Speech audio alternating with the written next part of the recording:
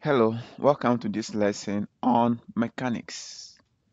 We are going to talk about the aspect of mechanics called statics. By the time we end this lesson, you will be able to distinguish between a scalar and a vector quantity.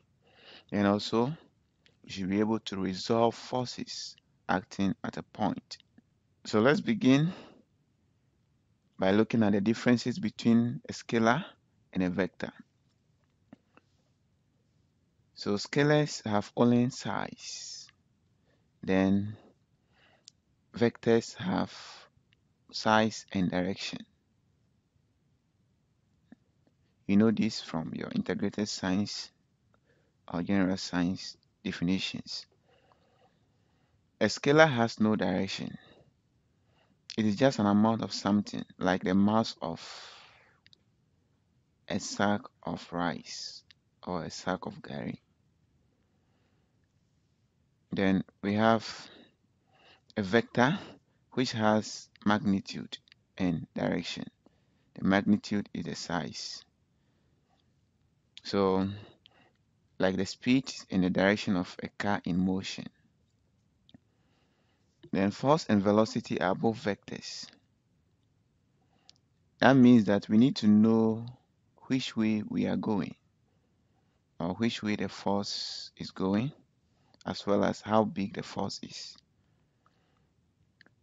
So let's look at some examples of scalars. We have mass, then we have temperature, time, length, we have speed, then we have energy. All these are examples of scalars. For vectors, we have displacement, velocity, then we also have force, which includes weight, have acceleration. So a velocity of 50 meters per second in a direction of 60 degrees is a velocity vector and we write it as 50 meters per second then the direction so the magnitude is 50 meters per second then the direction is 60 so an acceleration vector. We have 10 meters per second then 30 degrees as a direction. So all these are vectors and in writing it as a coordinate we write the magnitude first and direction second. So we have another example here. This is a force vector. The magnitude is 5 newton and the direction is 40 degrees. Oh, that's the bearing. The bearing is 40 degrees. Magnitude bearing form. So resolving coplanar forces acting at a point. Coplanar, it means they are in the same plane. Co, same, plane, planar, coplanar forces acting at a point. So resolving a force means we are splitting the force into its components. So we have the x component or the horizontal component, x component. Then we have the vertical component or the y component. So if you see FV, it's not anything. It means the vertical component or the y component. So some may write it as fx or fy. So it means the y components and the x component of the force. So if we apply a force that moves these objects upward, we have a movement in the horizontal direction as well as the vertical direction.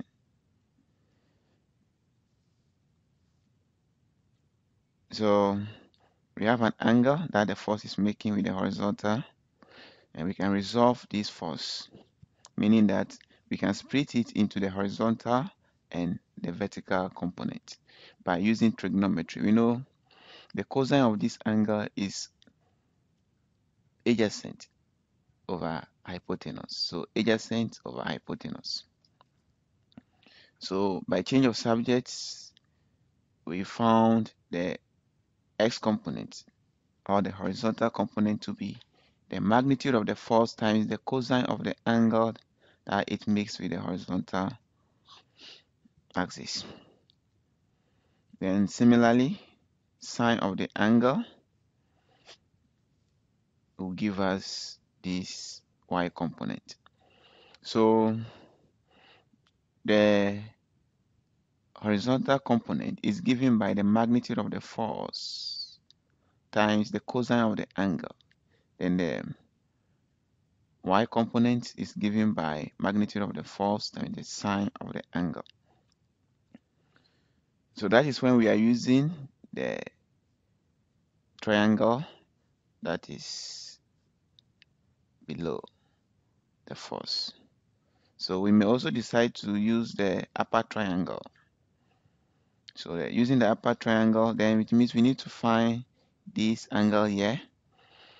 We know the whole angle will be 90 degrees. So this one is 90 minus theta. This theta here. So follow, following a similar procedure, we are able to realize that the upper triangle also give us this component.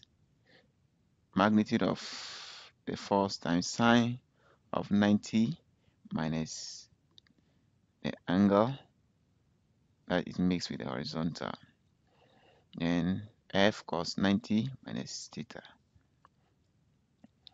So let's take an example here we have to resolve the force 5 Newton in the direction 030 degrees into its vertical and horizontal components. So here is a diagram illustrating it. So we have the 30 degrees that it makes with the horizontal. Then the magnitude of the force is 5 Newton. So this is the force. So we have the horizontal component and the vertical component. So we just apply the formula 5 cos theta. So the theta is 30 degrees. That's what we get here. Then 5 sine theta. That will give us the horizontal component. So this is giving us, so if you find cos 30 degrees on your scientific calculator, you are likely to get this result, root 3 over 2. If you don't get this result, you can get the equivalent form in a decimal form. Then also, cos sine 30 degrees will give us half. So the whole thing will give us 5 root 3 over 2, then 5 over 2 newtons. So when the force is written in this form, we say we have resolved it into its components, both vertical and horizontal. And we also call it column form, column form, column form. So you can also use the upper triangle, that is you find this angle here, which is 60 degrees. How do we get it? 90 minus 30 will give us 60. So in this case, the horizontal component is given by 5 sine 60 and the vertical component is given by 5 cos 60, which will give us the same result. So let's take a WASSCE example, which is very similar to this. Here is a, a WASSCE question which is similar to what we just did. It's a given that P is equal to 5 Newton in the direction 30 degrees. Express this in the form AI plus BJ, where A and B are scalars. So A and B are scalars. So this is a WASSCE example. So we just follow the same procedure to resolve the forces into the component form. Just that we have to write the final result in the form AI plus BJ, where A is the horizontal component of the force and B is the vertical component of the force. A is the X component and B is the Y component. So the x component is this, the y component is this. So we write it in this form 5 root 3 over 2i plus 5 over 2j. Let's take another example. We are to resolve the force shown in the diagram below horizontally and vertically. So the force is having magnitude of 20 newtons and it's making an angle of 50 degrees with the horizontal. So how do we resolve it? We use the same formula. So here is the horizontal component is given by 20 cos 50 degrees.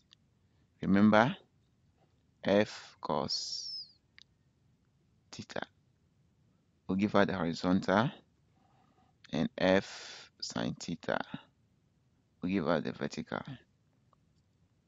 So the vertical is 20 cos sine 50.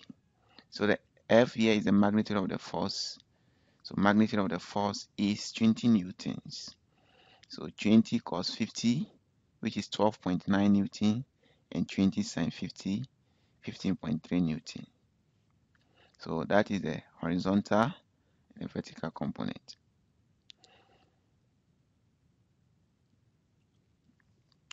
Here is another example. We are to express the force having magnitude 20 newtons and in a direction 240 degrees as a column vector. Here we are going to use two different methods. The first method is given by this. We just maintain the angle given in the question so the horizontal component is given by 20 cos 240 degrees. So remember, remember that the components of the force are given by magnitude of the force cos theta. Then that is the horizontal. Then the vertical is magnitude of the force sine theta, which is the vertical. So the theta here is 240 degrees. So 20 cos theta, the magnitude of the force is 20 newtons. So 20 cos 240 degrees, which is negative 10 newtons. That is the horizontal component. Then the vertical component is 20, which is the magnitude of the force, 20 sine 240, which will give us negative 10 root 3 newtons. So writing it as a column vector, we have negative 10, negative 10 root 3 newtons. And the second method is that we are going to take into consideration the acute angle of the vector in the third quadrant. So the vector is in the third quadrant, so it makes an angle of 60 degrees with the horizontal. Now, to the horizontal axis, it makes an angle of 60 degrees with the horizontal axis because when you travel up to this point you've traveled 180 degrees. So 240 degrees is 60 degrees more than 180 so we take into consideration the sign of this quadrant. So we have the x-axis here to be negative and the y-axis here to be negative. So both components will be negative. So taking into consideration the angle it makes with the horizontal or in the direction of the x-axis we have negative 20 cos 60 the negative here tells us that we are in the third quadrant which is negative 10 newtons. So the 60 here is this and we got it from the 240 subtracting it from subtracting 180 from it then the vertical component is negative 20 sine 60. So the negative here is the fact that we are in the third quadrant in sine 60. So that will also give us the same result. So we write it in column form as negative 10 and negative 10 root 3 newtons. So you can use both methods. This will be very quick for you. So you can stick to that. Then if you can also use this no problem. Let's take another example. Resultant of vector. So when we are talking about resultant of a vector we are talking about adding two or more vectors. So when we add two or more vectors we are referring to the resultant of them so adding two or more vectors is called finding the resultant of them. So we can get three vectors when we add all the components together. Then we are finding their resultant. So here's an example. A body is acted upon by the forces F1, 3 newtons in a direction 55 degrees. Then the second force is 4 Newton in a direction of 90 degrees. We have to find the magnitude and direction to the nearest degree of the resultant force. So note that the individual forces are given to us in the magnitude and direction form. So magnitude and direction form, magnitude and direction form. They are not given to us in the component form. Or they are not given to us as a column vector. Column vector. So we have to resolve the forces into component form before we add the components. So we don't just add the 3 newton to the 4 newton to find the resultant. We don't also just add the 55 degrees to the 90 degrees to find the direction of the resultant force. We have to first of all resolve the forces into the column form or the component, the horizontal and the vertical component. So let's begin.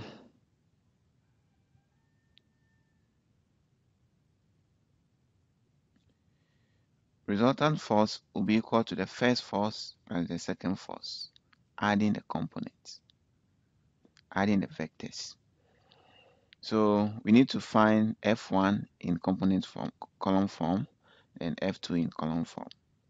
So we apply the formula, magnitude of the force cos 60, or that is cos theta, then that will be horizontal, then vertical will be magnitude of the force sine theta.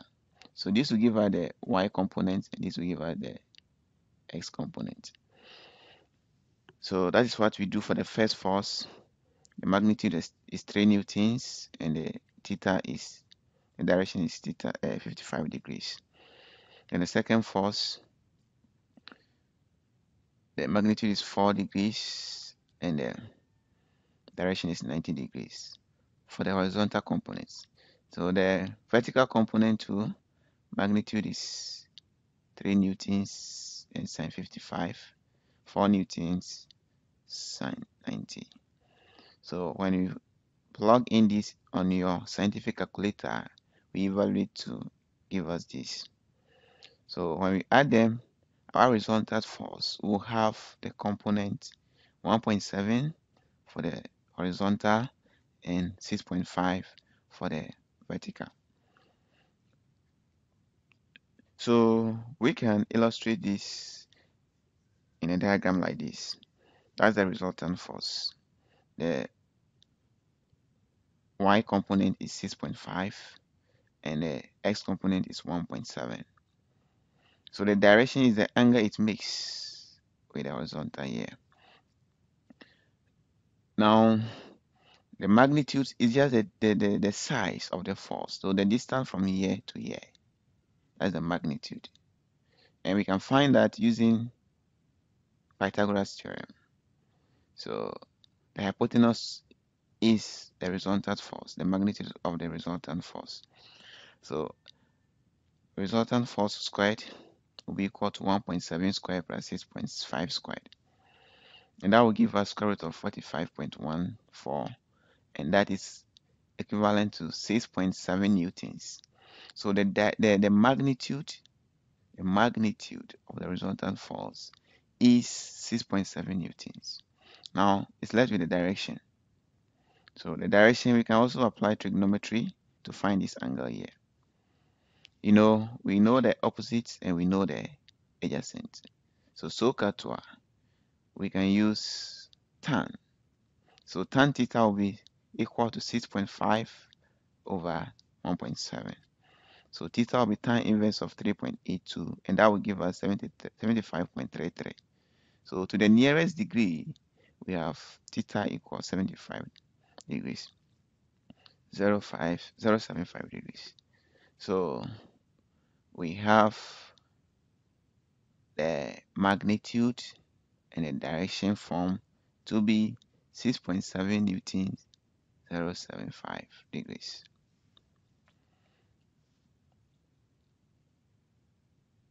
Now, in our next lesson, we'll be talking about triangle forces and forces in equilibrium. Thanks so much for watching. Come back next time to continue the lesson with us. See you in the next video.